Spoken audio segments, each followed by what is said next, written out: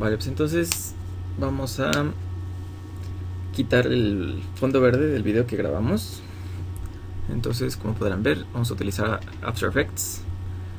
Entonces así les aparece cuando lo, recién lo abren. Entonces en esta parte de aquí, el Event Project, vamos a darle doble clic en cualquier área que esté gris. Entonces aquí vamos a seleccionar el video no lo va a abrir aquí. Entonces de aquí ya nada más lo jalamos a la parte de abajo y nos va a cargar una nueva composición que es esta que se crea aquí. Pero si le ponemos en com settings podemos ver que tiene todos los, los atributos del video original. Esto es el formato que son 1080 y el frame rate que es lo que más nos importa entonces como podrán ver a pesar de que improvisamos un poco se ve bastante bien el fondo verde se ve más o menos parejo.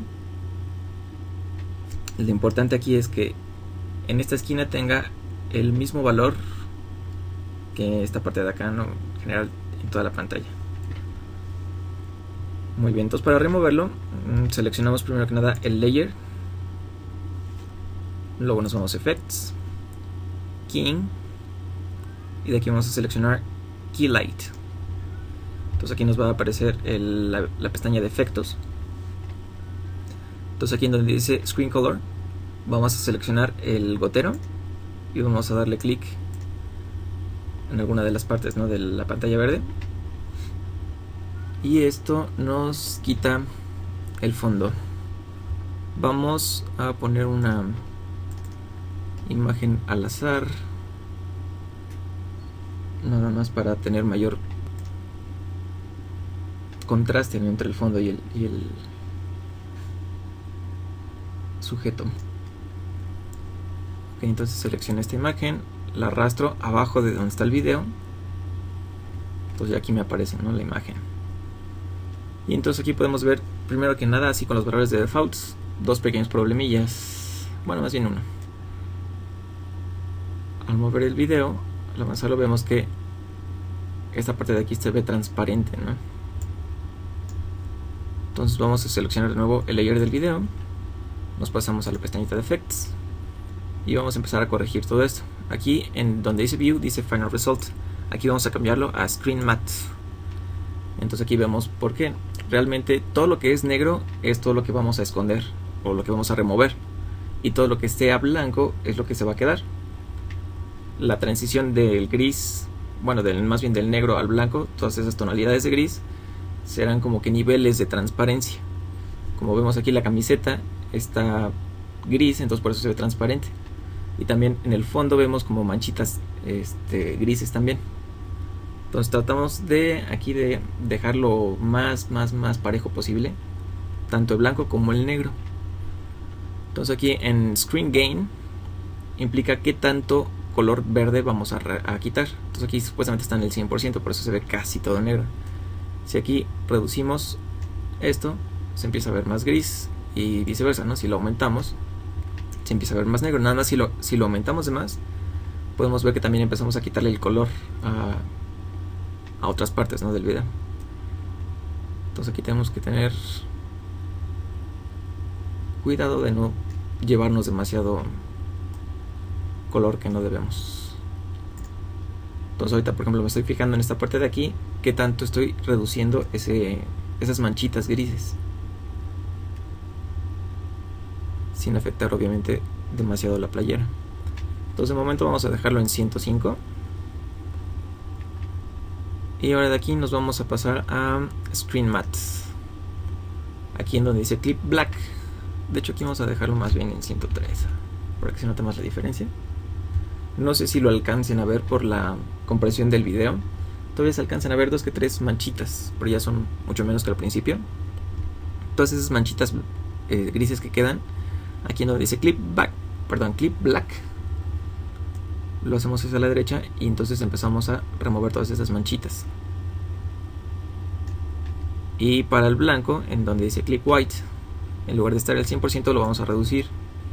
Y si vemos ahora en la playera, empezamos a quitar todas las manchas grises. Entonces ya nos queda una, una ¿cómo se dice?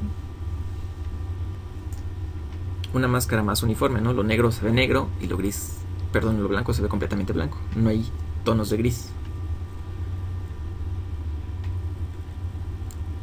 Entonces ahora vamos a regresar aquí en donde dice View a Final Result.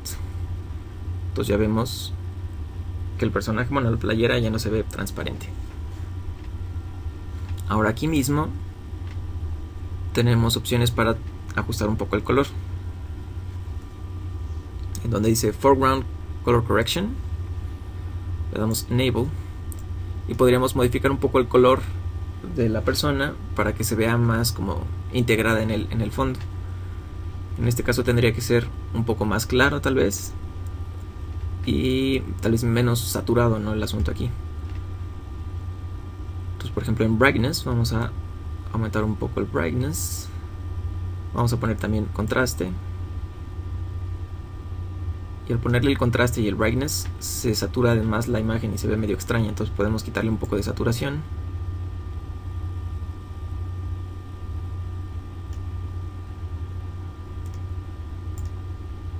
Vamos a ver el antes y el después.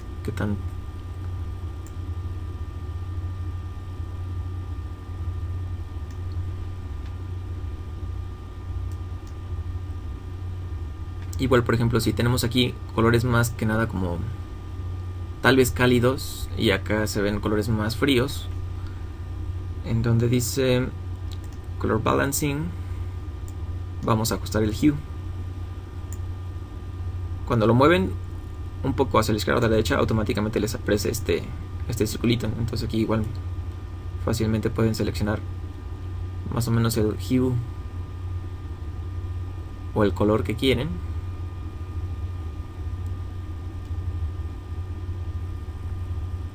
y ajustar un poco el, color en base a, por ejemplo, a las luces de acá que se ven como entre verdes y azules.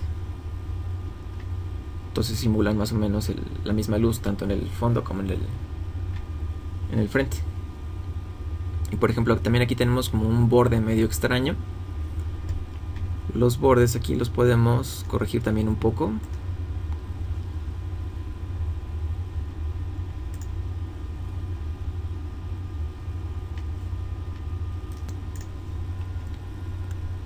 aquí seleccionamos Edge Color Correction le ponemos Enable Edge Color Correction. Y de default me parece que esto está en 0, 0, 0 100 0 0, algo así.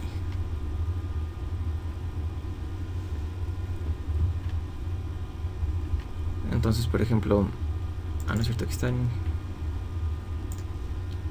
aquí está en 50, 00, 100, 00. Así les aparece de default. Entonces, por ejemplo, Edge Hardness.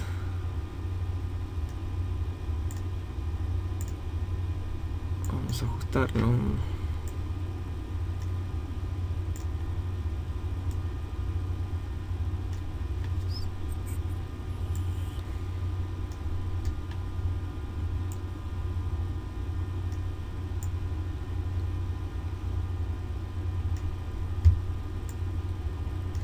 Por ejemplo ahorita que bajé la saturación aquí es más obvio el efecto no en todos los bordes ¿no? del personaje se nota más.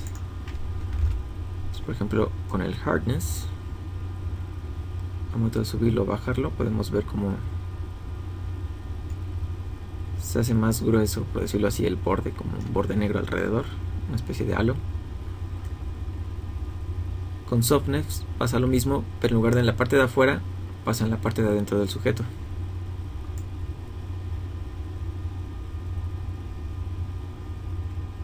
Es muy sutil el efecto y no sé si por la compresión del video ustedes lo puedan ver. Pero si no, experimentan en su computadora. En Edge Grow es que tanto aumenta el borde.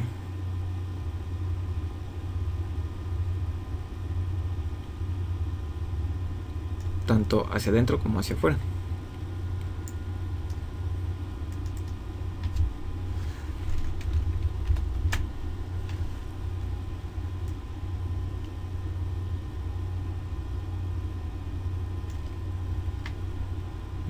aquí estoy me, estoy fijando más que nada en la manga de aquí, a ver cómo se ve tratando de dejarlo lo más delgado posible el, borde y que no tenga tanto contraste. El contraste pueden ver que hace cosas medio extrañas. Pero con valores muy este, pequeños en lugar de verse todo raro como aquí. Pueden ajustar, por ejemplo, en este caso el cabello en la parte de arriba se ve como una especie de halo blanco. Al subir un poco el contraste pueden disminuir ese efecto un poco o aumentarlo, ¿no? Depende de qué es lo que estén tratando de conseguir. Vamos a dejar una pequeña indicación aquí para separarlo un poco del fondo. Brightness obviamente es para hacer más claro el borde. Pero en este caso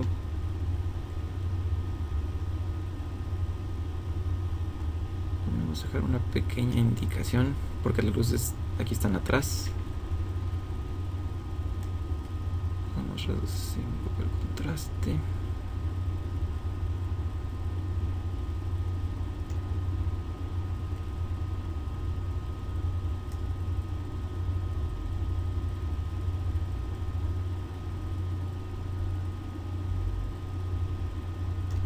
Jugar un poco con la saturación.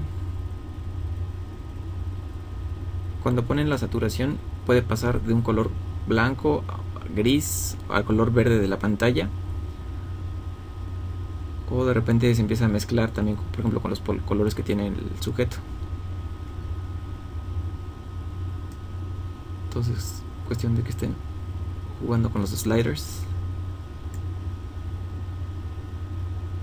Hasta que vean qué es lo que les conviene más.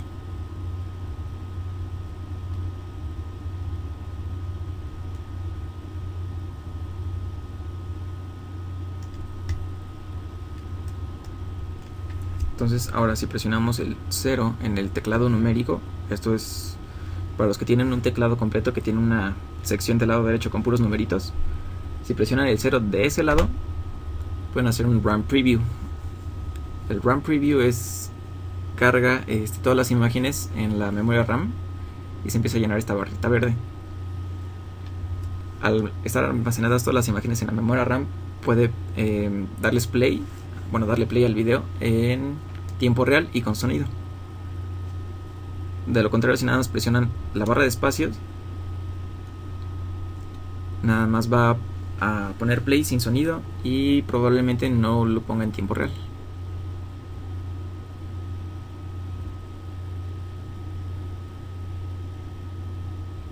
Voy a presionar cero de nuevo para pararlo.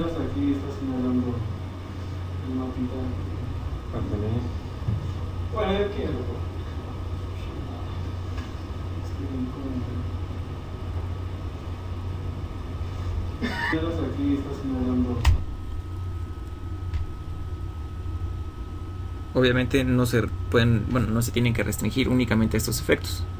Pueden poner cualquier otro efecto para corrección de color o similares, por ejemplo, no sé, curvas o similares. Color curves el efecto de las curvas los pone, lo pone debajo del color king, entonces no lo afecta. Y aquí también podemos jugar también con el contraste, con el color, etcétera, etcétera.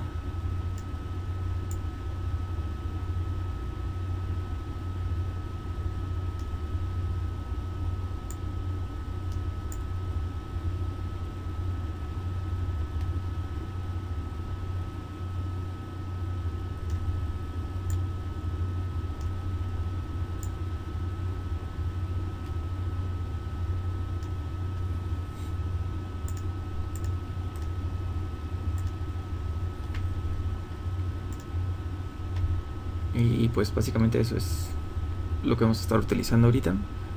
Porque van el antes y el después.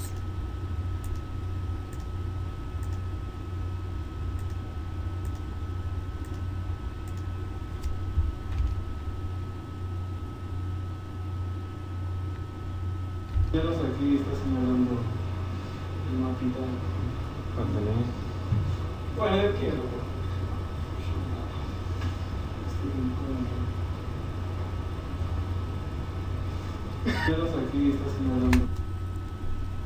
Si quieren, por ejemplo, ya exportar su video como una, un solo video, incluyendo los dos layers, presionan Control M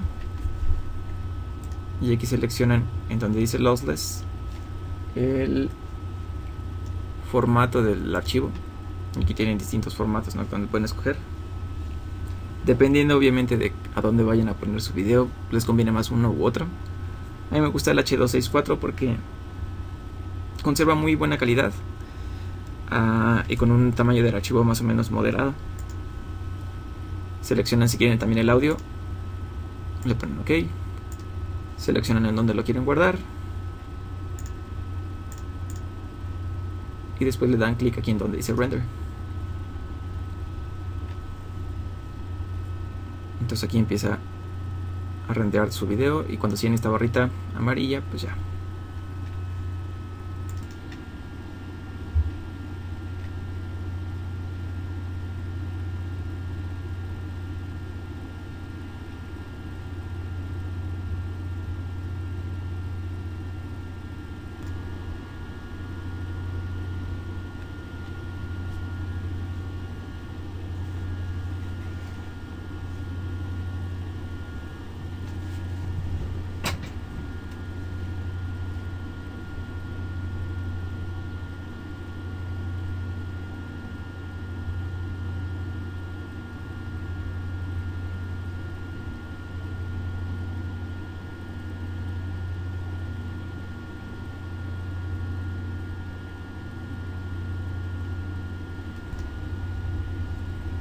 Y listo, entonces ya tenemos renderado nuestro video.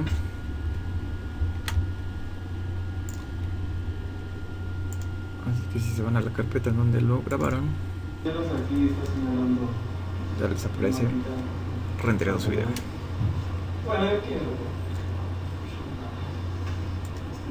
Esto también algo que, que tienen que tomar en cuenta, lo veremos en el próximo trimestre cuando ya veamos este, la edición tal cual.